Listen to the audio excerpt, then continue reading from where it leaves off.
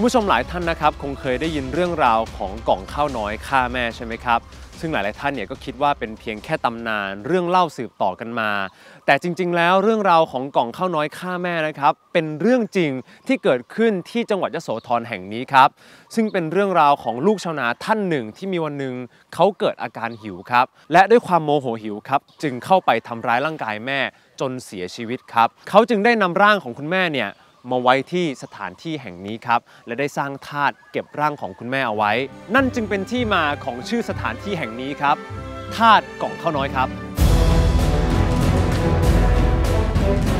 ธาตุกล่องข้าวน้อย หรือธาตุตาดทอง ตั้งอยู่ที่ตำบลตาดทองอำเภอเมือง จังหวัดยโสธรลักษณะเป็นเจดีย์ก่ออิฐถือปูน ฐานสี่เหลี่ยม เชื่อกันว่าเป็นสถานที่สำคัญที่มีความเกี่ยวข้องกับนิทานพื้นบ้านอีสาน เรื่องกล่องข้าวน้อยฆ่าแม่นั่นเองครับ และตอนนี้ผมก็อยู่กับคุณตาทองนาคครับ คุณตาเป็นผู้ดูแลธาตุกล่องข้าวน้อยนะครับ แล้วก็เป็นผู้ที่เกิดและโตมากับสถานที่แห่งนี้ครับผม สวัสดีครับคุณตาครับบคุณตาครับเรื่องราวของกล่องข้าวน้อยที่เมื่อกี้ผมได้เล่าไป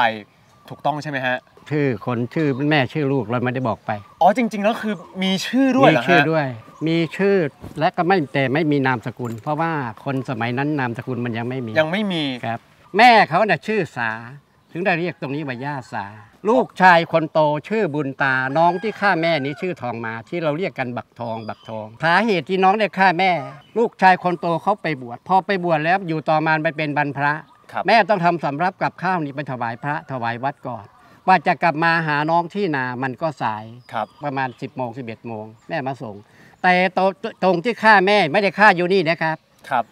มันมีเป็นโนนสะเดาเลยตรงนี้ไปนิดหนึ่งสมัยก่อนก็เป็นทุ่งนาครับหมดทุ่งนาหมดเลยครับที่เขาเรียกว่าฆ่าแม่หรือฆ่าอยู่ตรงโนนสะเดาฮะคือมันอยู่ตรงนั้นฆ่าแม่ก่อนแล้วค่อยๆมากินข้าวเพราะกินเท่าไหร่มันก็ไม่หมดครับ เพราะว่ากินได้แค่นิดเดียวคำสองคำมันก็อิ่มแล้ว ทีนี้ถึงมันสำนึกได้ว่าเราฆ่าแม่ไปเนี่ย เกิดความด้วยความโมโหหิวหมุกกุ้ยด้วยตาลายอืมยังสติไม่อยู่ครับ แต่พอฆ่าแม่เสร็จกินข้าวอิ่มเสร็จ ก็เลยเอาแม่มาไว้ตรงนี้ครับ ทีนี้ที่ที่บอกว่ากล่องข้าวเล็กเนี่ยมันไม่ใช่กล่องข้าวเล็กนะครับ ลองเอาเด็กสามขวบลงไปยืนแล้วมันปิดได้ เด็กสามขวบเหรอคฮะรับ มันเป็นข้อกล่องข้าวมันไม่ใหญ่แต่มันสูงรูปทรงเหมือนกันนี้ แบบขึ้นไปแบบนี้เลยยอดแหลมแบบนี้เลย เหมือนเหมือนธาตุเหมืเลอนยเหรอธาตุฮะนี้กล่เลองยครับกล่องข้าวหน้าครับ ตาเหมือนธาตุครันี่บเลยเหรอฐาฮะนเป็นไม้เนื้อแข็ง แล้วตักสารด้วยไม้ไผ่ แต่ข้าวน้ำจะจะเต็มไม่เต็มไม่รู้แต่ว่ากล่องข้าวนี่มันเด็กสามมันใหญ่ขวบมาก นยืนลงไปปิดแล้วมันปิดได้ หลังจากที่เอ่อเขาฆ่าแม่เนี่ยเขาถึงได้นำร่างของแม่มาไว้ที่ตรงนี้ฮะ สันนิษฐานว่าอาจจะเป็นวัดล้างมาก่อน แล้วเอาศพแม่มาไว้วัด ดูดีๆนะครับ เพราะว่ามันมีแต่ใบเสมา ใบเสมานี่มันปกติแล้วมันจะเป็นเขตพัทธสีมาวัด ส่วนมากเราจะไปเห็นอยู่ในบริเวณวัดหน้าโบสถ์ใช่หรือว่าฮะหน้าศาลาใช่ไหมครับ ใช่ครับ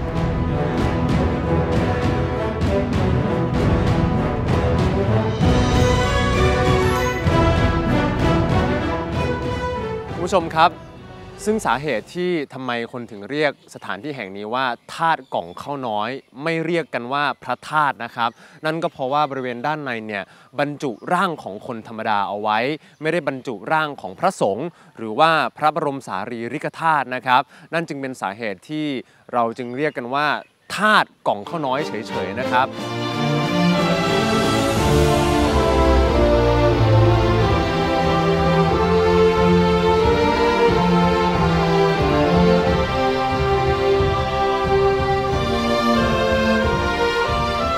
าครับแล้วส่วนใหญ่ที่คน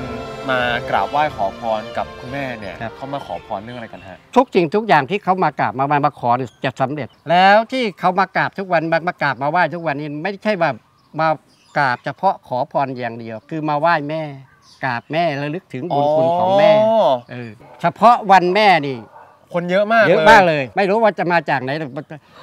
เต็มมาขอมาขอว่ามาไหว้แม่ วันเฉพาะวันแม่